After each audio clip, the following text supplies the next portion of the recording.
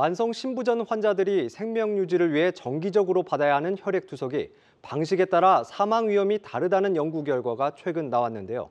국내에서 어떤 방식이 더 사용되고 있는지 김수진 기자가 취재했습니다.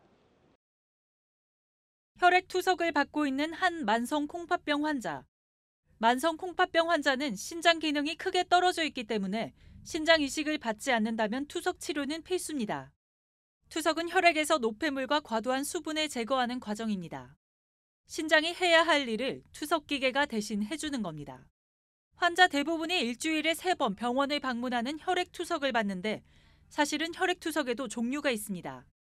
전통적인 혈액 투석과 비교적 나중에 나온 혈액 투석 여과법입니다. 전통적인 방법은 작은 노폐물만 제거할 수 있지만 혈액 투석 여과법은 크기가 큰 노폐물도 함께 제거할 수 있다는 특징이 있습니다. 요독물질 등으로 불리는 노폐물은 혈액에 많이 남을수록 두통이나 구토 등을 유발할 수 있습니다. 최근에는 혈액투석 여과법을 사용하면 전통적인 방식에 비해 환자의 사망 위험이 23% 낮아진다는 연구도 나왔습니다. 그러나 국내에서 해당 방식으로 투석하는 환자는 전체 혈액투석 환자의 13%에 불과합니다. 일본에서 혈액투석 여과법에 대한 비용을 정부가 일부 지원해 해당 방법을 사용하는 환자가 크게 늘고 있는 것과는 대비됩니다.